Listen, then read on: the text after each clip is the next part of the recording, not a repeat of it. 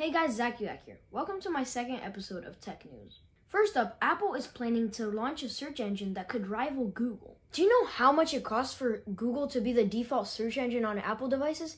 $15 billion a year. And this could all change with the addition of this new search engine. So maybe very soon we will be Appling instead of Googling. The next news is about nature and not how we kill it, but how we want to save it and preserve it with tech. Scientists are hoping to save the Great Barrier Reef. It is under great threat right now because of climate change and coral bleaching. It is very important to save it because it houses a variety of marine life and it has a very unique ecosystem. So what are they doing? First, they're cryogenically freezing the coral, taking it out of its environment, and then after some time, putting it back in. I really hope this works out because I remember diving and seeing coral reefs was so beautiful.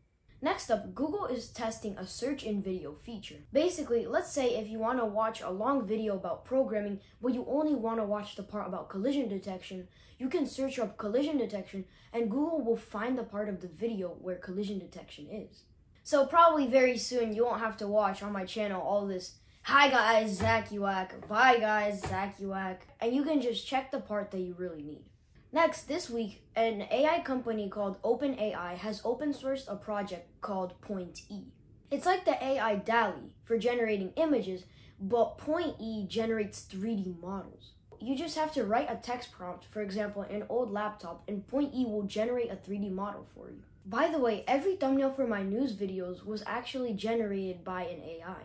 The only thing I added was the text. Next up, Starlink has announced that it has reached 1 million users. What is Starlink? It's an internet service provider founded by Elon Musk. But the twist is, Starlink's coverage is provided from space. You can have internet everywhere now, in the desert, in Antarctica, in the ocean, even space. And that's a good thing, because I was planning to travel to Mars, but I was thinking, how would I be able to post YouTube videos from Mars? Now it's good. You won't miss it.